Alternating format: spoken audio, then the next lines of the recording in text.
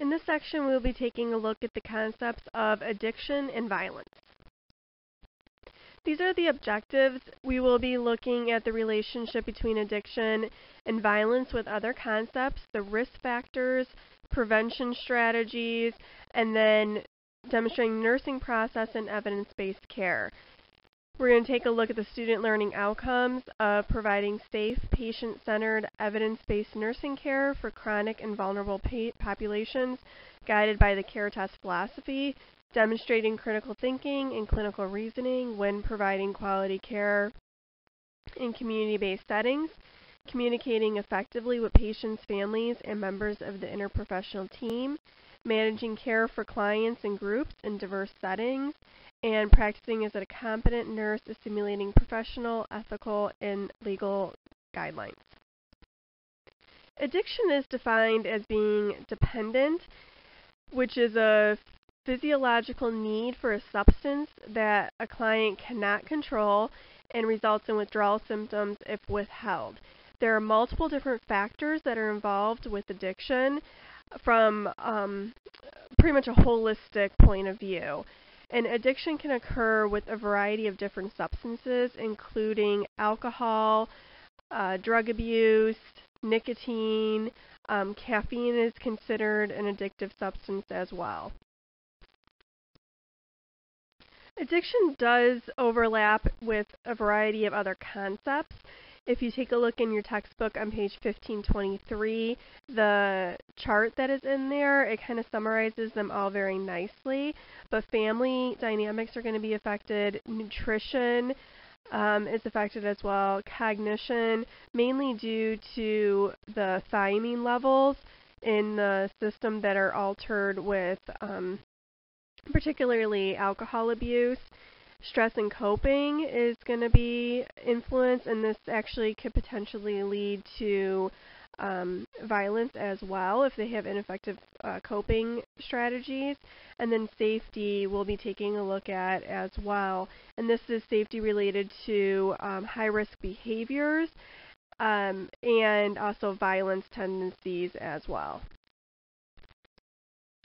The CAGE assessment is a tool that can be used for anybody that you could that you're suspecting is drinking too much alcohol. And this is an assessment you ask them these questions. If they answer one in uh, a yes, then you want to further question and kind of narrow down because you would be starting to suspect that there might be a, an issue with alcohol. If they answer two yeses, you definitely want to pursue uh, a treatment option for them to make sure that um, they are managed effectively. With alcohol withdrawal, it usually starts to uh, symptoms appear within 4 to 12 hours after um, their last drink. So you really want to determine when was the last time they had um, their last drink, so then you can uh, accurately assess and manage based on that uh, time frame. Manifestations, you take a look at um, irritability, tremors, nausea, vomiting, headaches, um, diaphoresis, anxiety, sleep disturbances, tachycardia, and elevated uh, blood pressures. For delirium tremens, um, these are when alcohol is like um like immediately withdrawn from an individual and then they will develop signs of increased blood pressure, tachycardia and diaphoresis and those are all indications of alcohol withdrawal delirium. Within the hospital setting, uh, most facilities will have a CIWA score that they follow, and this is really taking a look at uh, a couple different areas to determine what the severity of alcohol withdrawal symptoms are, and it's a tool that measures for high blood pressure, rapid pulse and respirations, tremors, insomnia, irritability, sweating, and convulsions. And these are all symptoms that um, they are going through alcohol withdrawal, and depending on their score is what protocol you follow for medications, which we're not going to really go into detail with that. You'll revisit that when you get into the mental health rotation. For management of addiction, you want to pay attention to a couple different aspects, no matter which type of care environment you're in, whether it's a community based setting or an inpatient setting. Um, the priorities are going to be the same, regardless of setting. And really, you want to have the client be able to admit that the substance is controlling their life. Um, see if they're willing to enter a treatment facility. You want them to experience no complications, to obtain um, optimal nutritional status, and to participate in support groups. So you want to promote safety, safety for the patient and safety for yourself. You want to determine whether what their level of disorientation and confusion is. Um, are they knowledgeable that they are confused and their mental status is altered? Um, put them in a quiet environment. So if you are in the community setting, to take this individual aside from a group um, maybe take somebody else with you to maintain your own safety, but you really want to decrease any kind of external stimulus. Um, you want to orient the patient if they are disoriented. You want to try to encourage their own participation in treatment and healthy coping skills.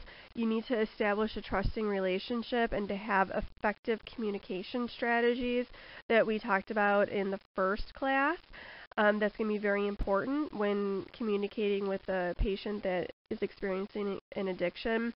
Providing adequate nutrition and nutrition education because depending on their addiction, they're going to be lacking in certain nutritional supplements.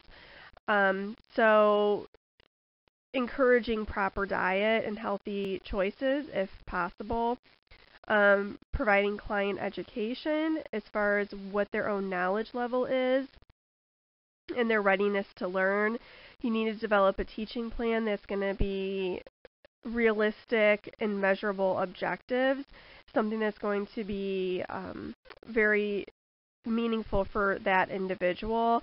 And then you want to start simple and then build more complex. If the patient is experiencing a withdrawal, you need to again promote their safety and your safety. You want to assess orientation frequently, explain everything to the, the patient or the client so they understand what is going on and what you are doing. Um, providing simple step by step instructions when you're communicating. Do not argue with the client if they're experiencing delusions or hallucinations you can just simply state that you do not see that. It is not part of reality, um, but accept that they are perceiving whatever it is that they are perceiving. So you do not want to um, agree with them, but you can gently just say that it is not reality of what they're experiencing. So then it actually um, promotes a feeling of safety for them too, to know that what they're seeing is not actually there or what they're hearing.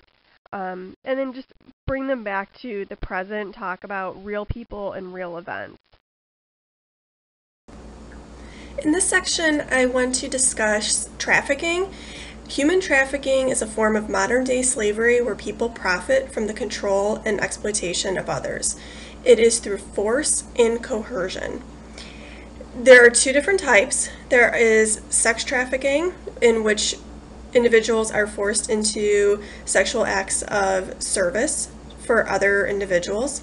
And then there is also laboring, labor trafficking, in which people are forced to perform labor um, and are coerced into it. There are laws under Ohio law. Trafficking in persons is a first degree felony with a mandatory minimum of 10 years in prison.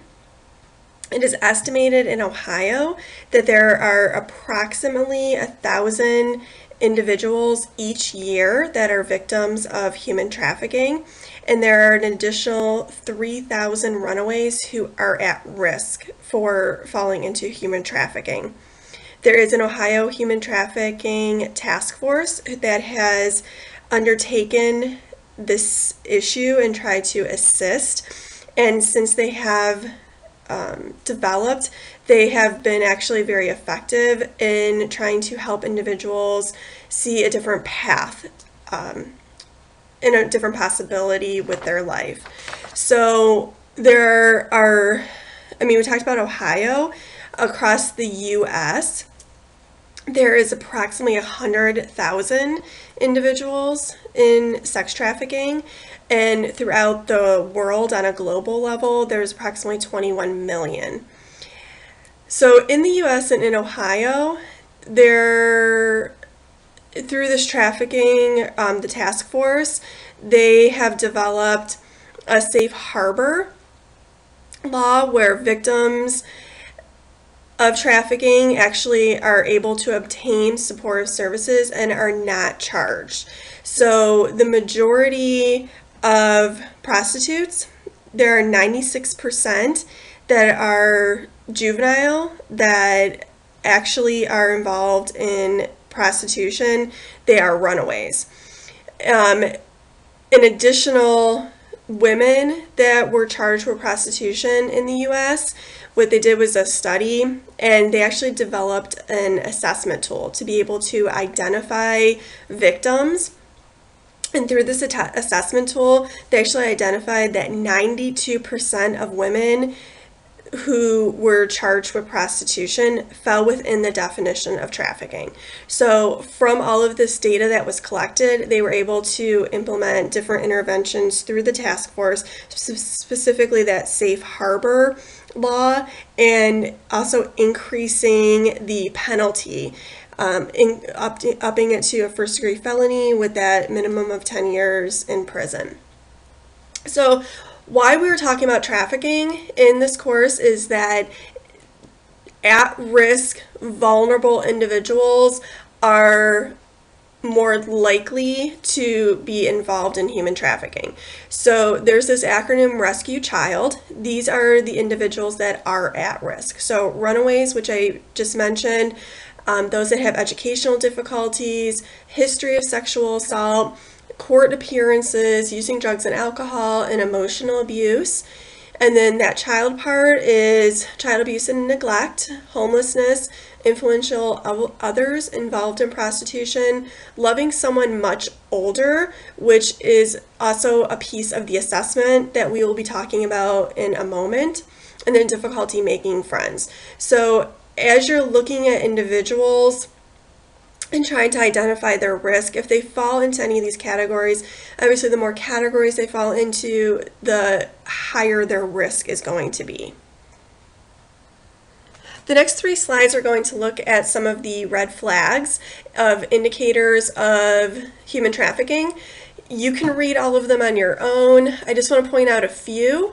The inability to attend school on a regular basis or unexplained absences a change in school performance. So they're not able to focus, they're falling asleep all the time, and this is a change in their pattern of behavior.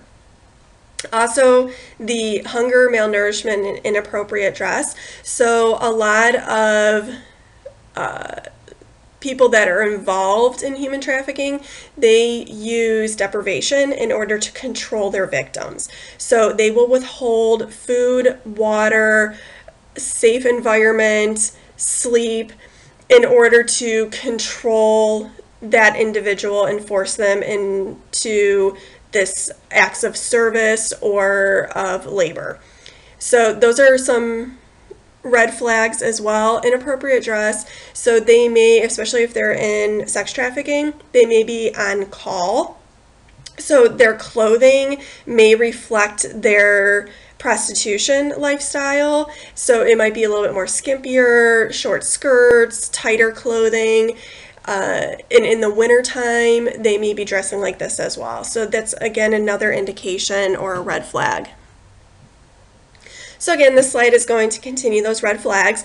Again, uh, just a couple to point out that there's a sudden change in attire, behavior, material possessions, sudden change in attention to personal hygiene. So a lot of times, again, the people that are involved with trafficking, they will take a group of of their victims into salons and have them with specific hairstyles, get their nails done, um, make them look visually appealing um, to increase their profits. And they also use it as a reward system. So if you do this, then I will purchase that $200 purse that you really would like, or you can have your hair and nails done.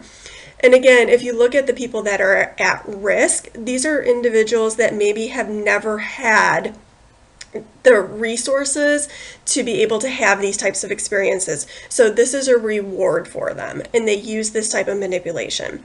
Also on this slide is a boyfriend or girlfriend who's noticeably older. So this is your 12, 13, 14 year old that maybe has a 20 year old boyfriend or girlfriend.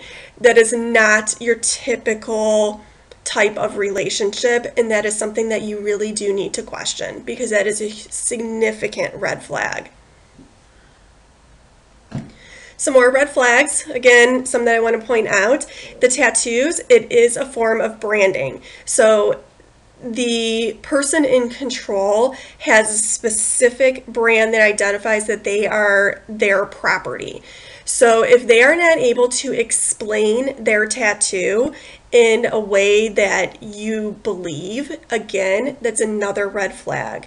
Um, symptoms of daydreaming, hyperarousal, um, changes of behavior, inability to bond, shyness, forgetfulness. Again, a lot of times victims learn not to make eye contact. They cannot trust anybody. They do not make eye contact with other people.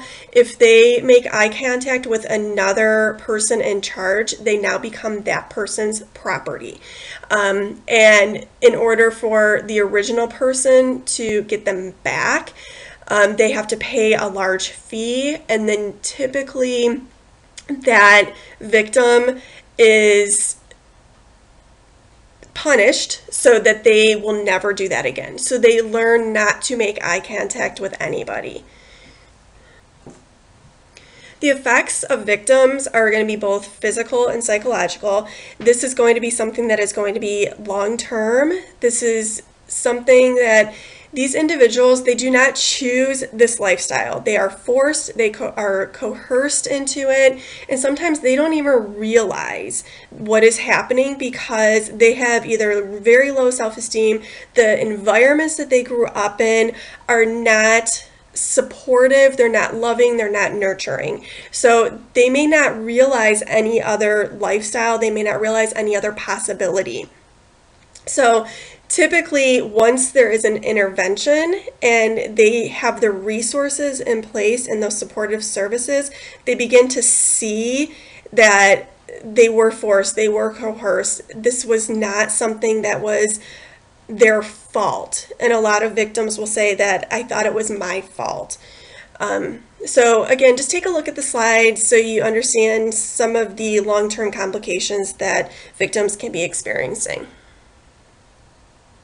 so as a nurse, you need to be very vigilant of the individuals that you will be working with to look for those at risk, look for those red flag indicators that there might be an issue going on. And then if you are suspecting anything, if there's any kind of gut feeling, if even if it turns out that it is not what you were thinking, that's okay. It's better to be vigilant and assess and identify. And it's not up to you to decide whether this is something, a, a definite case of trafficking, or this is maybe something that you are misinterpreting. That's not your responsibility. Your responsibility is to assess it and to report it. And let the experts figure out whether this is a true case or not. So, some of the assessment questions, again, you can look at these. Um, because of the age difference between boyfriend girlfriend is one of the red flags. So to be able to say, how did you meet with your boyfriend or girlfriend? Um, have you ever tried to break up with them or leave them? Is there anything preventing or threatening you? Do you want help leaving? So Again, this may not be something that is answered positively, but the more people that help with that type of intervention and with that questioning, it helps them see a different lifestyle. Um, are your family members or friends in danger if you try to leave? So, some of the people that had these types of organizations with trafficking, they will use coercion of threats against family members. So, this is the older teenage girl that has a younger sister, and they are threatened that the younger sister will be sold overseas, they will never see them again, um, and they will be the victim of human trafficking if the older sibling does not cooperate. So, they are protecting their younger sibling from that lifestyle. Um, are you being forced to do work that you didn't want to do? Have you been lied to? Has anybody offered you money or um, in exchange for sex? Does anyone make you have sex? So, those are all good assessment questions to determine whether your gut feelings of those red flags and at risk are more valid. So, what do you do if you suspect that somebody is a victim of human trafficking, either sex trafficking or labor trafficking? There is a National Human Trafficking Resource Center, hotline, the number I have on here for you. I would kind of keep this someplace where you have it when you are working, just in case you need to make a phone call. They can help you with assessment questions, they can help you with referrals, resources, what are the next steps, what do you do with this particular person prior to discharging or discharging them or letting them leave the facility. So they're an excellent source of information. Also, be familiar with what your facility policies are. So, there has been a great push within the last several years to educate healthcare professionals on human trafficking and how to recognize it. So, facilities are going to have policies in place to help with identification and what to do. So, the big thing is if even, like I said, if it's a gut feeling, go with your gut and report it. So they will investigate, they will be able to help you with that assessment. So the main goal is to help victims and to rescue them from that environment. So we'll talk some more in class about some particular cases. Um, there is resources that I listed in your syllabus that I want you to take a look at as far as the human trafficking task force there is also it's just kind of for your information but it's a really good uh, it's like an online um, education with a video. You can actually get a ce for it. I know you're not thinking of ces right now but it's good for a portfolio. Um, when you go to apply for your positions. It's a free um, in service. There's a video, it goes into a lot of data for Ohio, what to do, how to recognize it, give some statistics, what it looks like. So it's actually a really good um, in service if you would like some more information about human trafficking.